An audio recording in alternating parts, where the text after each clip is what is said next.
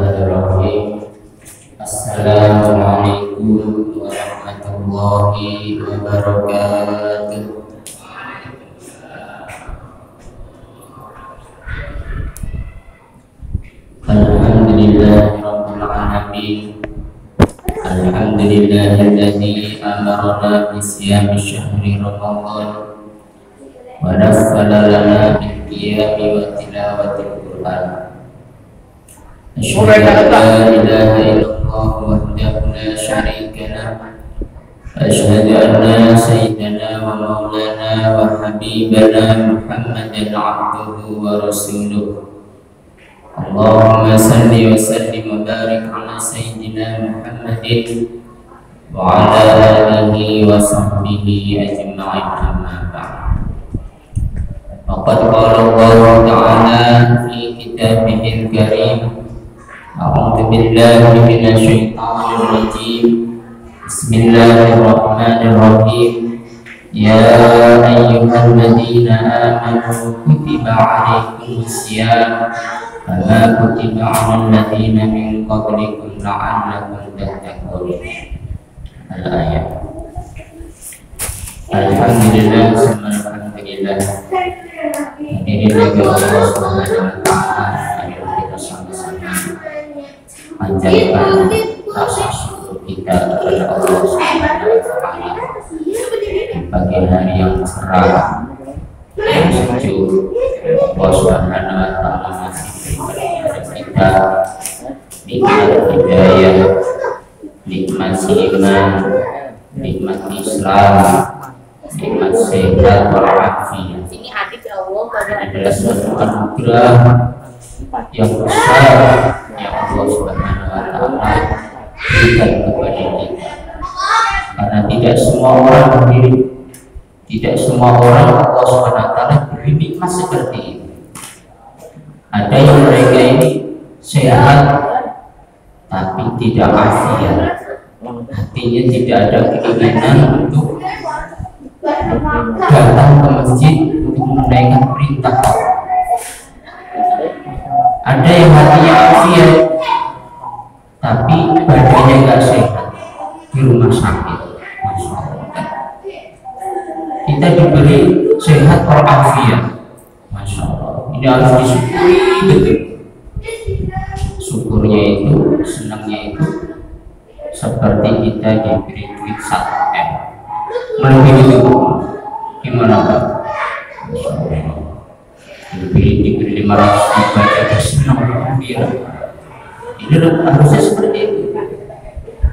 Ketika kita diberi nikmat-nikmat oleh Allah Subhanahu wa taala seperti ini kita senangnya itu harus melebihi dari kita diberi nikmat dunia oleh Allah Subhanahu wa taala.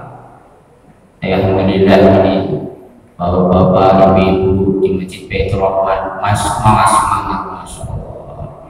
Mudah-mudahan sampai akhir semangat terus. Karena kata Nabi Sallallahu Alaihi Wasallam beliau bersabda, "Man asyrafat bidayatuhu asyrafat nihayatuhu."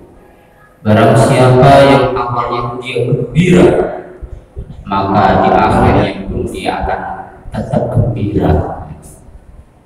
Kata guru kita, kalau orang itu di awal Ramadan dia berusaha menjaga amal-amalnya, menjaga hatinya, semangatnya, itu dijaga, maka Allah Subhanahu wa taala akan memudahkan dia untuk apa?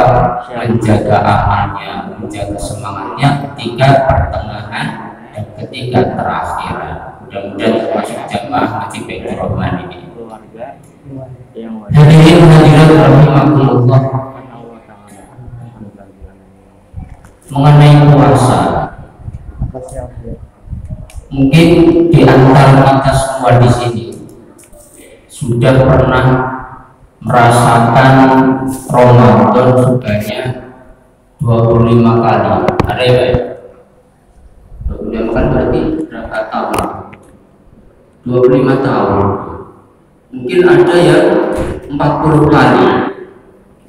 Ada yang 50 kali. Ya, Pak. Ada yang 60 kali. Ada yang 70 kali. Ada yang 80 kali. Yang 100 kali ada Pak? 100 tahun belum ya.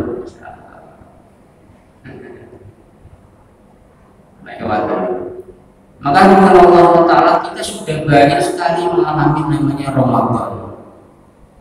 Tapi kenapa ketika mau datang bulan Ramadan kita oleh Nabi disuruh persiapan? Selalu itu persiapan. Mulai daripada bulan apa? Bulan Rojab kita sudah disuruh doa. Allahumma barik lana fi Rajab wa Sya'ban ballighna Ramadan. Kita sudah disuruh untuk persiapan-persiapan. Itu setiap tahun. Bukan hanya sekali seumur hidup. Kita ya setiap tahun. Kita itu apa? Disuruh untuk persiapan menyambut bulan Ramadan. Kenapa dengan Allah swt kita disuruh persiapan-persiapan? Karena di bulan Ramadan yang telah lalu kita itu masih banyak kekurangannya. Masih banyak lalainya. Masih banyak waktu sia-sia yang yang tidak kita lakukan di bulan Ramadan. Maka bagaimana setiap tahun kita ini ketika mau datang bulan suci Ramadan disuruh persiapan supaya supaya Ramadan yang akan datang itu lebih baik daripada bulan-bulan Ramadan yang telah yang telah lalu. Persiapan terus maka demikian Allah Subhanahu wa taala. Maka kata ulama supaya kita maksimal untuk melaksanakan ibadah puasa amal pihak puasa ketika ada tiga perkara yang kita harus perhatikan apa itu tiga perkara? Yang pertama perhatikan betul yaitu kesehatan. Kesehatan dijaga. Jangan sampai ketika puasa itu ya sebab kecerobohan kita jadinya sakit. Akhirnya apa? Tidak bisa menunaikan ibadah puasa. Ya walaupun bisa dikotok orang sakit kan ada ujungnya, iya bisa dikotok tapi keberkahan terus pahalanya berbeda ketika apa? ketika kita melaksanakan betul dengan sempurna ketika di bulan suci Ramadan. Maka kesehatan harus dijaga dengan betul. Kemudian yang kedua yang perlu diperhatikan adalah masalah ilmu. Ilmu tentang yang berhubungan dengan puasa wajibnya orang yang berpuasa syarat sahnya orang yang berpuasa perkara-perkara yang membatalkan puasa maka perkara-perkara yang makruh ketika berpuasa Terus perkara-perkara yang membatalkan ibadah puasa. Ini harus diketahui ilmunya. Tapi insya Allah bapak-bapak sini sudah tahu semua ya. Syarat wajibnya puasa. Apa itu? Harus orang Islam. Kemudian balik berakal. Orang yang mustaqim mustaqim itu siapa? Orang yang bertempat tinggal. Atau ya, di desa seperti ini bertempat tinggal. Bukan musafir. Bukan orang yang dalam perjalanan. Kemudian orang yang suci dari haid dan nifas. Maka ada kujunan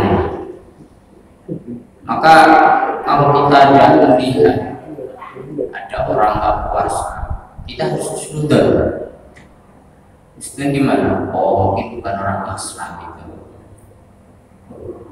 Ada yang ngasih tahu oh, Islam itu pak. KTP-nya Islam loh. Saya tahu oh, Islam. Yang mungkin belum balik, belum balik, anaknya banyak belum balik gimana? Oh berarti kemungkinan yang ke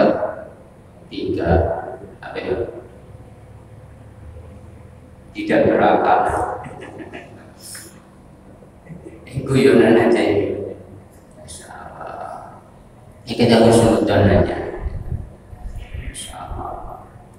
Akan kalau Allah Subhanahu Wa Taala? Ilmunya puasa harus kita pelajari. Kalau diuraikan di sini nanti bacaan nanti bapak bisa buka.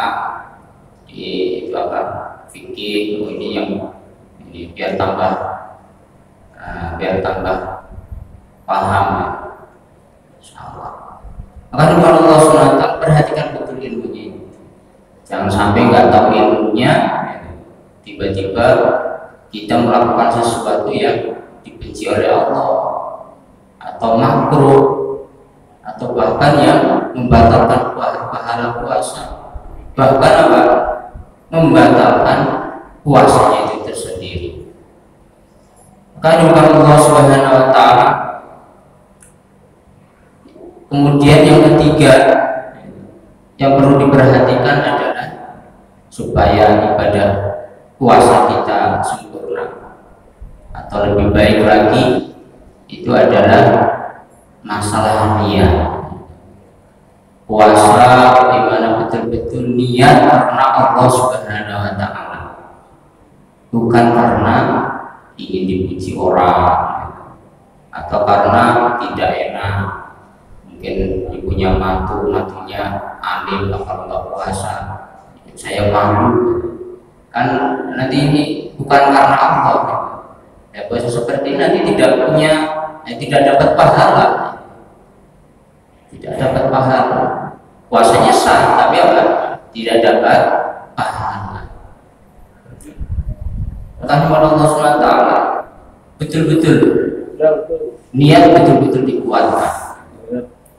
Mungkin kita kita yang di sini itu niat ah, akan tergoda walaupun melihat es teh di siang hari itu gak akan tergoda melihat sate tergoda tapi hati Allah SWT orang-orang yang kerjanya berat di sawah terus di yang panas-panas bangunan proyek. Itu kalau niatnya tidak kuat betul. Itu maka ya nanti tergoda. Maka niat itu harus betul-betul kuat karena Allah Subhanahu wa taala bukan karena yang yang lain hadirin hadirin rahimahullah ini tiga perkara yaitu kesehatan ilmu kemudian niat Kemudian Allah Subhanahu wa taala memerintahkan puasa ini. Itu apa hikmahnya? Hikmahnya ya, sebagaimana Allah Subhanahu wa taala firmankan dalam surat Al-Baqarah yang saya tadi saya bacakan itu. Ya ayyuhalladzina amanu kutiba alaikumus shiyam kama kutiba alal ladzina min qablikum la'allakum tattaqun Hai orang-orang yang beriman telah diwajibkan atas kalian puasa sebagaimana Allah SWT wajibkan kepada umat-umat sebelum kalian. Jadi di sini puasa ini itu tidak akan bisa dilaksanakan, tidak akan ada yang melaksanakan kecuali apa? Orang-orang yang ber orang-orang yang beriman Coba orang yang tidak beriman suruh puasa. Berat. Ada itu pas saya di video di YouTube itu ada yang orang suruh ibadah puasa. Itu puasa karena apa ya? Karena konten kan, bukan karena apa. Mungkin ya bilangnya puasa saja. Tapi hakikatnya bisa melaksanakan puasa dengan betul-betul itu hanyalah orang-orang yang beriman, orang-orang yang ada keyakinan kepada Allah, orang-orang ada keyakinan dalam hatinya kepada Rasulullah Sallallahu Alaihi Wasallam, ada keyakinan dalam hatinya kepada negeri akhirat. Ini hanyalah orang-orang yang beriman. Kemudian apa apa yang kita hasilkan ketika kita itu menunaikan ibadah puasa? Apa hasilnya? Laman lakum takun yaitu supaya kalian semua menjadi orang-orang yang bertakwa kepada Allah Subhanahu wa taala. Jadi yang akan kita dapat ketika puasa itu adalah takwa kepada Allah. Kalau memang puasa ini dilakukan dengan benar-benar karena puasa ini adalah Allah Subhanahu wa taala telah menggembleng menggembleng orang-orang yang beriman ini supaya apa? Supaya amalnya itu lebih baik lagi, lebih baik lagi, lebih baik lagi. Ini kenapa puasa di syariatkan 30 hari Pak? Ada yang tahu Pak? Itu ada dalam suatu riwayat. Kenapa puasa itu 30 hari disyariatkan? Katanya dulu ketika Nabi kita Bapak kita, Mbak kita Nabi Adam alaihissalatu wassalam ketika setelah memakan buah khuldi ya. kan buah yang dilarang tidak boleh dimakan tapi dimakan oleh mbah kita kakek kita itu Nabi Adam alaihissalatu wassalam nah ketika dimakan itu di perut itu apa itu uh, ngendap namanya belum keluar selama 30 hari. Selama satu bulan baru buah yang dalam perut yang dimakan itu baru keluar. Maka dia syariatkanlah anak cucunya ini ketika bulan Ramadan puasa selama satu satu bulan. Eh, dalam satu ayat seperti itu Hari Allah Subhanahu wa taala orang-orang yang bertakwa kepada Allah Subhanahu wa taala ini apa keuntungannya? Apa keuntungan bagi orang-orang yang bertakwa kepada Allah Subhanahu wa taala? Orang-orang yang bertakwa kepada Allah itu banyak sekali untungnya.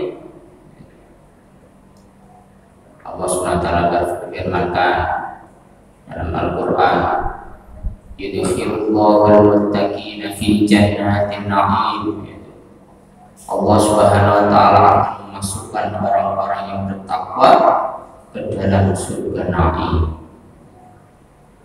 Wattaqullaha la'allakum tuflihun. Bertakwalah kepada Allah supaya kalian ini orang menjadi orang-orang yang beruntung Wattaqullaha wa yu'allimukumullah. Bertakwalah kepada Allah nanti Allah akan mengajarkan ilmu kepada kalian maka ada namanya ilmu laduni ilmu laduni itu apa ilmu yang didapat tanpa belajar itu syaratnya kalau orang itu takwa maka nanti Allah SWT akan ilhamkan kepada dia ilmu-ilmu yang dia tidak belajar di antaranya dengan bertakwa. Wattaqullah wa. Bertakwalah kepada Allah, nanti Allah akan mengajarkan kepada kalian. Di antara pendapat dari berarti lagi gimana Pak? Man zahida fid dunya allamahullahu bi ghairi. Barang siapa dia zuhud kepada dunia, maka Allah akan ajarkan dia ilmu tanpa belajar. Zuhud itu apa? Zuhud itu apa? Tidak ada rasa sukanya di dalam hati terhadap dunia. Bukan gak punya dunia. Zuhud itu bukan oh, kalau sudah saya berarti kok punya dunia makan cuma bukan seperti itu. Orang yang paling zuhud itu siapa? Sayyidina Abu Bakar di antara kalangan umat. Tapi beliau tetap berdagang, tetap bekerja sebelum jadi khalifah. Seperti itu. Kemudian cara mendapatkan ilmu laduni lagi gimana Pak? Mana amila bima ya'lam allamahu Allahu ilman ma lam ya'lam. Barang siapa dia mengamalkan ilmu yang dia ketahui, maka Allah akan mengajarkan kepada ilmu yang belum dia ketahui. Jadi bapak-bapak sudah belajar ilmu, nah itu diamalkan, diamalkan, diamalkan, diamalkan. Nanti Allah SWT akan beri ilmu yang tanpa belajar ilmu-ilmu yang belum dia ketahui. Harimau Allah Subhanahu wa taala. Kemudian apalagi untuk orang yang bertakwa. Yattaqillaha yaj'al lahu makhraja wa yarzuqhu min haitsu la yahtasib. Barang siapa bertakwa maka Allah SWT akan berikan dia jalan keluar dari setiap masalahnya. Masalah apa pun akan Allah SWT selesaikan. Kesusahan apa pun Allah SWT akan hilangkan dari orang-orang yang bertakwa.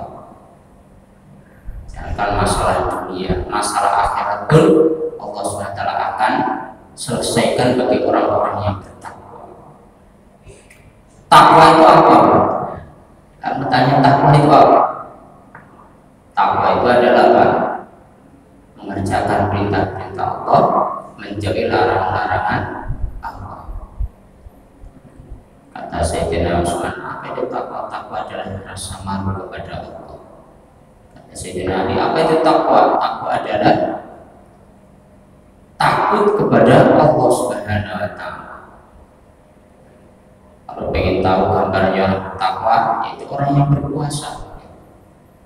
Di hadapannya ada makanan, ada minuman, ada sate, ada gulai, ada apa lagi?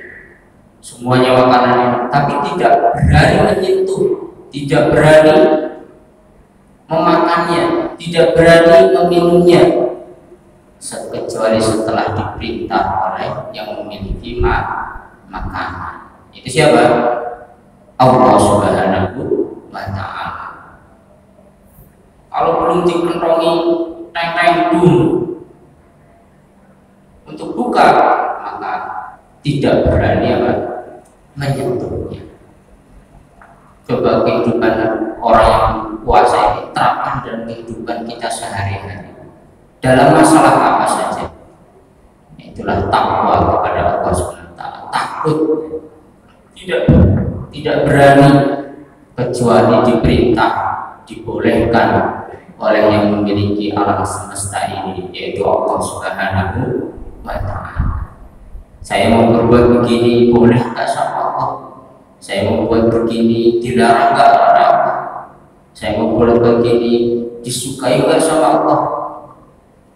Inilah kehidupan orang-orang yang bertakwa kepada Allah.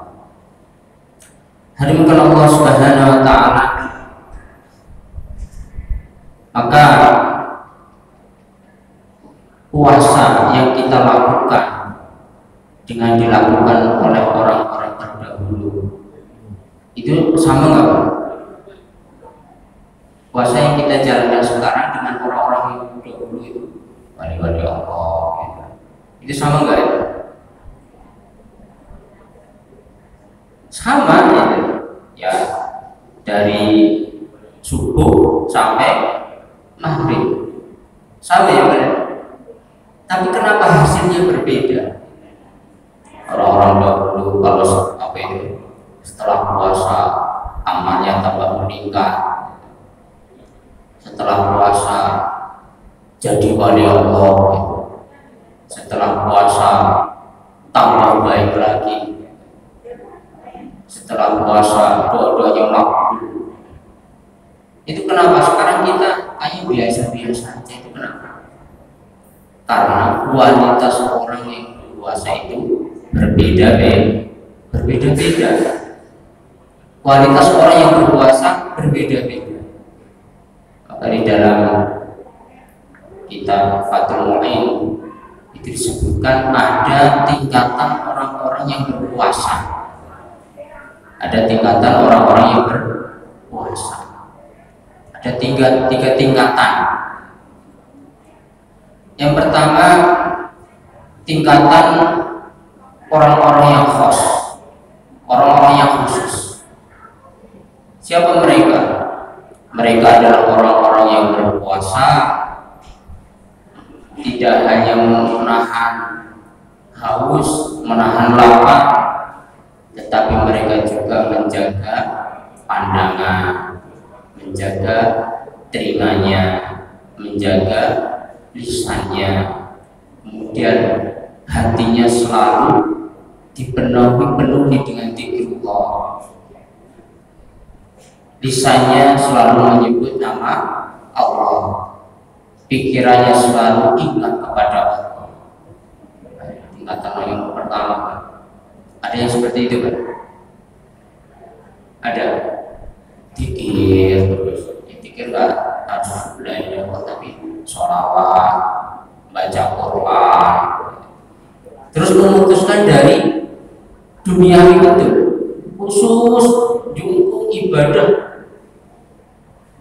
Nggak tidur ya tidur. Tidurnya juga niati ibadah. Tapi yang dibanyakan ini. Menjaga telinga menjaga mata menjaga lisan. Tidak ngomongin dunia betul. Hanya menyebut asma Allah. Tingkatan orang yang pertama orang-orang yang khusus kemudian tingkatan yang kedua. Tingkatan yang kedua adalah orang-orang yang mereka berpuasa tidak hanya menahan haus dan lapar tapi juga menahan matanya tidak melihat perkara-perkara yang tidak disukai oleh Allah Subhanahu wa taala apalagi yang diharamkan oleh Allah Subhanahu wa taala. Karena apa karena pandangan mata. Itu adalah salah satu panah daripada panah-panahnya syaitan kalau pandangnya pandangnya itu perkara yang buruk maka nanti yang masuk dalam hati adalah perkara buruk. Kalau ini pandang adalah pandang hadis pandang istrinya nanti akan masuk adalah cahaya-cahaya kebaikan. Sehingga akan dipenuhi nur. Kemudian menjaga telinganya dari apa? dari perkara-perkara yang diharamkan oleh Allah. Pertama kemudian kedua dari perkara-perkara orang-orang yang membicarakan keburukan orang lain juga kemudian dari itu terus menjaga pendengar dari apa? dari musik-musik yang melalaikan Allah Subhanahu wa taala. Kemudian menjaga lisan. Lisannya itu tidak bicara sia-sia. Lisannya selalu membicarakan kebesaran Allah Subhanahu wa taala. Ini tingkatan orang yang tingkatan kedua, Tidak hanya menahan-nahan haus, lapar, tapi menjaga mata, telinga. Kemudian tingkatan yang ketiga, ini adalah orang-orang yang mereka berpuasa, tahunya puasa itu adalah nahan lapar, nahan haus, dan di siang hari tidak hubungan suami istri. Tahunya itu pengetahuan tentang puasanya saat ini malas baca Quran terus tidurnya banyak ngumpul-ngumpul merumpi bicara sia-sia masih mendengarkan perkara-perkara yang melalaikan Allah Subhanahu wa taala. Ini puasa puasa siapa ini, Pak? Yang ketiga puasa siapa ini?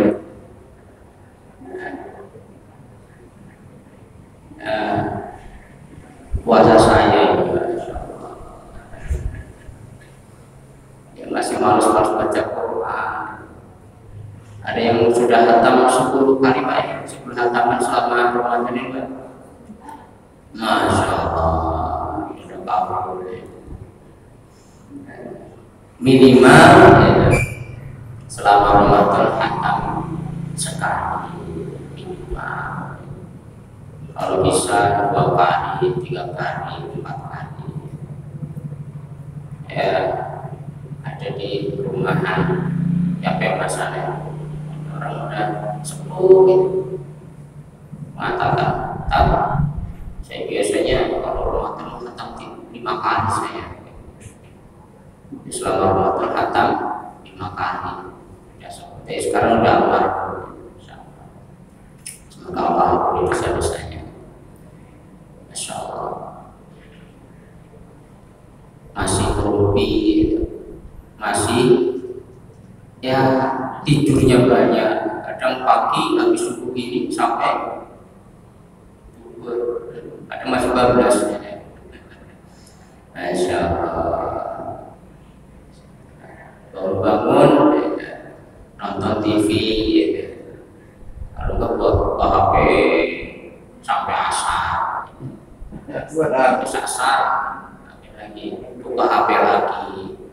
Nggak terasa udah ada maghrib Allah habis maghrib buka HP lagi sampai isya.